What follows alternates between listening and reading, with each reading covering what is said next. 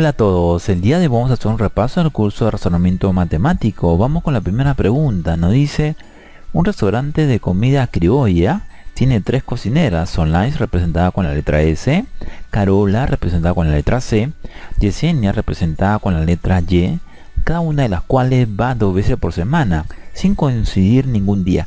Significa que en un día no van a trabajar dos personas ni tres. Luego, se sabe que Solais solamente puede ir a trabajar viernes, lunes o martes. Los viernes Carola prepara su plato favorito. Yesenia no puede ir los sábados. Si el restaurante atiende únicamente de lunes a sábado, ¿cuál es el orden de atención de las cocineras durante la semana? Ahora, lo primero que hacemos es hacer un pequeño cuadro indicando los días de la semana, lunes, martes, miércoles hasta sábado, porque es lo que nos pide el problema, de lunes a sábado. Luego vamos a ordenar los datos. Solais solamente puede trabajar lunes, martes o viernes. Entonces Solais está lunes, martes o viernes. Luego, el viernes Carola prepara su plato favorito. Significa que el día viernes Carola es la que trabaja. Entonces automáticamente Solais no podría trabajar el viernes porque no pueden coincidir dos personas el mismo día. Eso quiere decir que Solais es la que trabaja lunes y martes. Si son tres personas y son seis días, cada una va a trabajar dos días. Ahora, nos dice, Yesenia no puede ir los días sábados. Si no puede ir los días sábados Yesenia, significa que solamente nos queda, en este caso, Carola. Quiere decir que Carola es la persona que trabaja viernes y sábado. Como nos quedan dos días disponibles, los días miércoles y jueves, ahí es donde va a trabajar Yesenia. Entonces, el orden correcto sería Solás lunes y martes, Yesenia miércoles y jueves y Carola los viernes y sábado. La letra D es la respuesta. Vamos con la siguiente pregunta. Cuando asistí a una reunión me presentaron a los señores Borbón, Luque, Cano y Rubio. Entre ellos había un fotógrafo, un médico, un taxista y un contador. De ellos recuerdo los siguientes datos. El señor Borbón y el taxista son viejos amigos quiere decir que se conocen. El médico y el contador conocieron en esta reunión al señor Rubio. El señor Luque y el señor Cano no pueden o no saben conducir. El médico y el señor Cano son compadres, significa que se conocen. ¿Quién es el fotógrafo y quién es el médico respectivamente? Primero, cuando nos dan ese tipo de problemas, colocamos por ejemplo aquí los nombres de las personas y aquí las profesiones o los oficios que tengan. Luego, nos dice, el señor Borbón y el taxista son viejos amigos. Significa que el señor Borbón no es taxista. Entonces acá lo ubicamos, el señor Borbón no es un taxista, descartado. Luego, el médico y el contador conocieron en esta reunión al señor Rubio.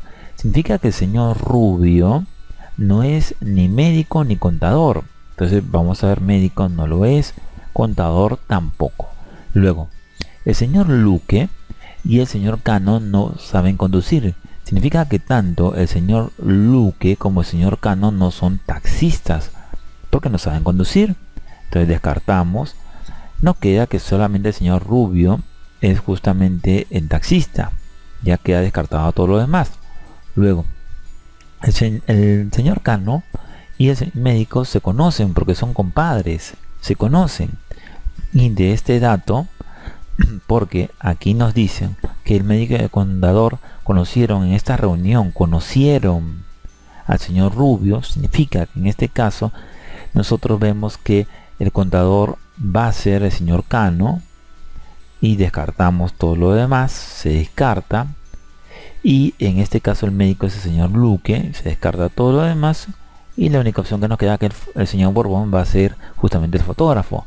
La pregunta es quién es el fotógrafo y quién es el médico. En este caso hablamos del señor Borbón y el señor Luque. La letra A es la respuesta. Vamos con la siguiente pregunta.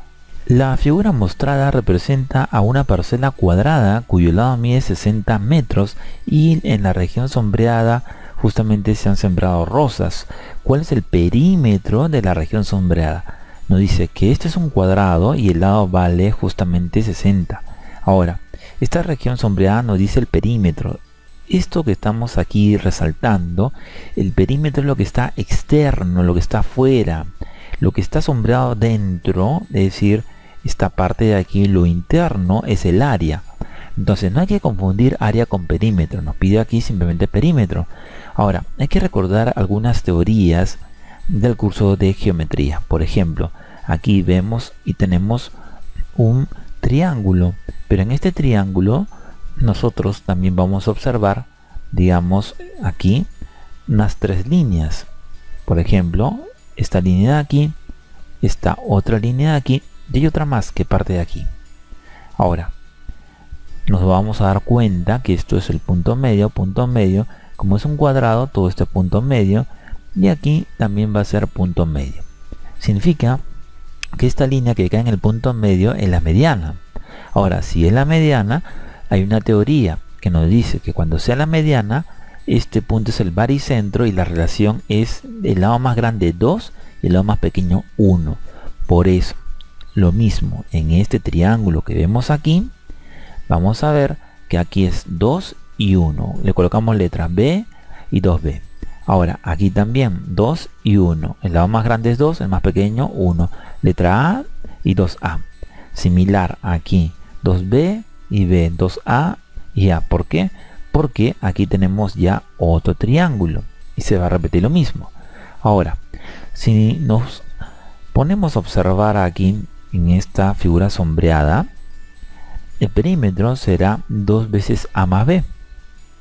Ahora, nosotros vamos a ver algo muy simple, que en este triángulo, en el grande, por ejemplo, este es 60, 60 y todo será 60 raíz de 2.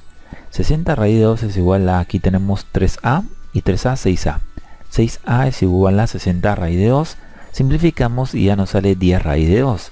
Luego, de la misma manera, aquí en este pequeño triángulo, nosotros vamos a ver que es 30, 60 y esto es 30 raíz de 5 y esto es 3b. 30 por raíz de 5 es igual a 3b, simplificamos, es 10 raíz cuadrada de 5.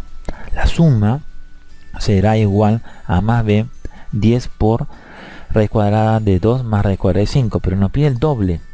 10 por 2 es 20. 20 por raíz cuadrada de 2 más raíz cuadrada de 5, en este caso la letra A es la respuesta. Vamos con la siguiente pregunta. El nuevo juego didáctico de Yaritza consta de varias fichas planas congruentes como se muestra en la figura número 1, es decir, aquí el lado vale 12 y el otro lado vale 6 centímetros. Luego, 11 de estas fichas se distribuyó sobre la mesa y se logró juntar esta figura que vemos aquí. Ahora nos pide el perímetro de esta figura. Entonces, si nos damos cuenta, Primero, aquí esta parte que estamos sombreando, 1, 2, 3, ahora esto será aquí 4, 4.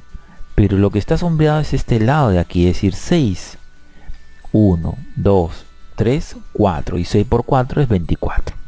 Quiere decir que todo ese lado, todo es 24. De la misma manera, vamos a ver aquí. Esto de aquí todo esto de aquí, nosotros vemos todo esto de aquí, todo esto de aquí y todo esto de aquí. Si nos damos cuenta, será aquí 1, 2, 3, 4. Pero esto vale 12. 4 por 12, 48. Entonces, nos damos cuenta que realmente el perímetro de esta figura es justamente un rectángulo y los lados será 48 y 24. Vamos a sumar 24 más 48 que es 72, lo multiplicamos por 2 porque aquí también es 48 y aquí es 24. 72 por 2 es 144. La letra C es la respuesta. Vamos con la siguiente pregunta. Seis vecinas se sientan simétricamente alrededor de una mesa circular para conversar acerca de las edades que tienen sus hijos. Julieta tiene un hijo de 25 años, está sentado junto a Elvira, cuyo hijo tiene 26 años. Primero, Julita tiene 25 años. Elvira está al lado, tiene 26 años su hijo. Ahí está. Pero frente a Noelia. Esta coma, esto es muy importante, no se refiere a Elvira, sino a la primera persona Julieta. Es decir, que frente a Julieta está Noelia, frente a Julieta está Noelia, y el hijo de Noelia tiene 30 años. Ahí está. Luego, Katy cuyo hijo tiene 28 años, está sentada frente a Rebeca, cuyo hijo tiene 24 años. Además, junto y a la derecha de Elvira. Junto y a la derecha Elvira. Esta coma nos indica que no se refiere a Rebeca, sino a la primera persona, a Katy. Katy está junto y a la derecha de Elvira. Su hijo tiene 28 años y al frente de justamente Katy está Rebeca, cuyo hijo tiene 24 años. Ya hemos colocado este dato aquí. Luego, Sofía tiene que estar en el espacio vacío, que es este espacio. Su hijo tiene 32 años, está a dos lados, a dos lugares de Julieta. Uno, dos, cumple. La pregunta es, ¿cuál es la diferencia positiva de las edades de los hijos de las vecinas que se encuentran al, lado de Julieta? Julieta y la vecina se llaman Rebeca y Elvira, sus hijos tienen 24 y 26 años. La diferencia, 24 menos, en este caso 26 menos 24 es igual a 2. En este caso, la letra A es la respuesta. Vamos con la siguiente pregunta. Tres parejas de esposos están sentados alrededor de una mesa circular de seis asientos simétricamente distribuidos, donde ningún varón está sentado junto a otro, pero junto a su pareja. Además se sabe que Araceli, en este caso, no está sentada junto a Paolo, ni además junto a Diana.